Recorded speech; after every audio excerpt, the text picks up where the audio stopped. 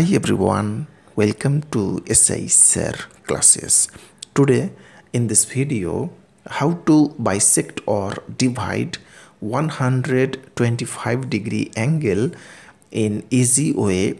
So please watch the video till the end. So let's start the video.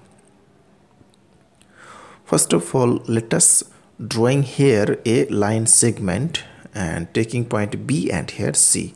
Next, drawing 125 degree with the help of protractor on the point B.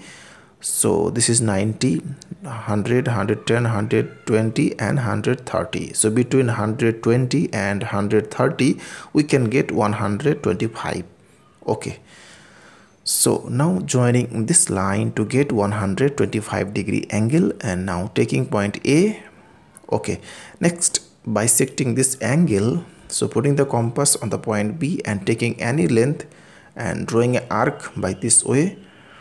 And now putting the compass here and taking greater than half of this by this way and drawing an arc here. Again with same length and putting the compass here and cut here. Okay. So now joining this line which bisect the angle 125 degree angle. Okay so now taking point D and here angle ABD this is 62 1 by 2 degree angle and angle DBC this is also 62 1 by 2 degree angle.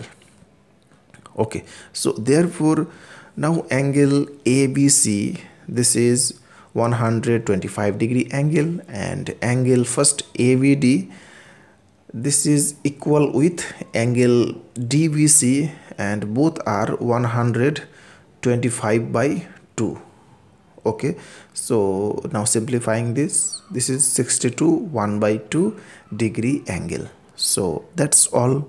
Thanks for watching